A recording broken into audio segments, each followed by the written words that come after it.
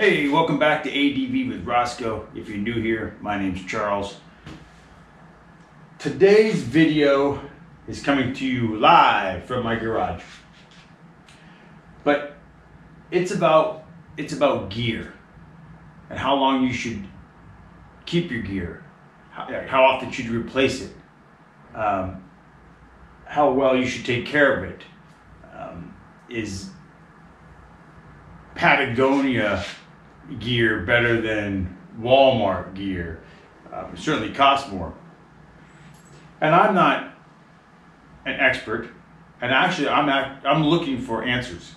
I want to know from you guys in the comments what you think, because I tend to keep my gear for a very long time. I I like to think I take care of it, and I, I agonize over the price. My ski jacket that you've seen in that my ski video um, that I bought in like 2000 or 2001. And this was $250. I agonized over that. 20 years later, I'm still wearing it. But should I be? It's not water repellent. Um, my life doesn't depend on that jacket. When I was mountaineering, maybe it did.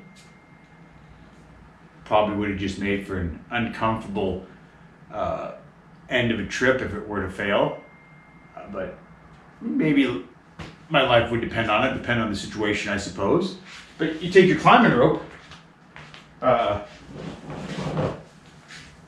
your life certainly depends on this. You have to keep track of a climbing rope, how many falls you've taken, uh, if it got exposed to any chemicals, um, sunlight, and basically just age. I mean, it's only good for X amount of years. Um, same with a motorcycle helmet. If you read a motorcycle helmet, I think it's only good for three years after manufacturer's date. I might, I I just made that up, but it, I read something like that. So somewhere in there, there is a there is a date on your motorcycle helmets. So how long do you keep those? And the, the foam inside breaks down, which is part of the cushion. Um, but like I said, I keep my stuff a long time. Eureka Timberline 2 tent. It's been on many motorcycle trips, many backpacking trips. Um, that's a. Oh, look who's making a guest appearance. This is Ruben the cat. He came to the house when I bought it. Hello, Ruben. Your guest appearance here on ADV with Roscoe. All right. So where was I before I was interrupted by Ruben? My Eureka Timberline 2 tent. Bought it in 91. It's been everywhere with me. I feel like the material is starting to break down, so I don't take it anymore. So I think I'm proactive on that. Plus, I have a really sweet Mountain Hardwear tent that I just like. I've wanted one for a long time. I finally have one, and that'll probably be the last tent I ever have. Probably not. I'll probably buy a super lightweight motorcycle tent. But um, sleeping bag, 1991, down, Marmot, uh, 35 degree bag. Love this bag. Compresses small. Uh, I use it a lot in the summertime, backpacking, and on the motorcycle.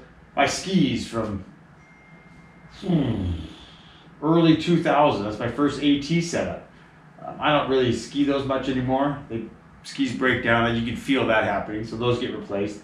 Motorcycles, maintenance on your motorcycles, and how long do you run them until they leave you stranded out in the middle of nowhere?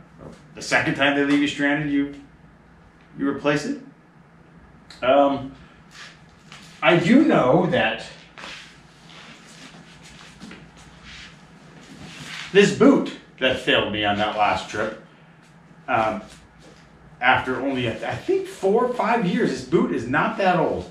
Uh, the sole came off halfway through day one. I don't even know it was halfway through day one. I glued it back on, duct taped it on. Uh, next day, the other sole came off. Luckily, we were able to get shoe goo and duct tape, otherwise, it would have been a miserable couple days riding without a sole. So, there's my question Do you replace your gear every so many years just because? Because you want to try new stuff, or you don't want that to happen, which I think that happened prematurely. Um, gear that your life depends on, you put that at the priority list, then soles of your boots go down the priority list. Put in the comments. Let me know what I'm supposed to do. Let me know what you think.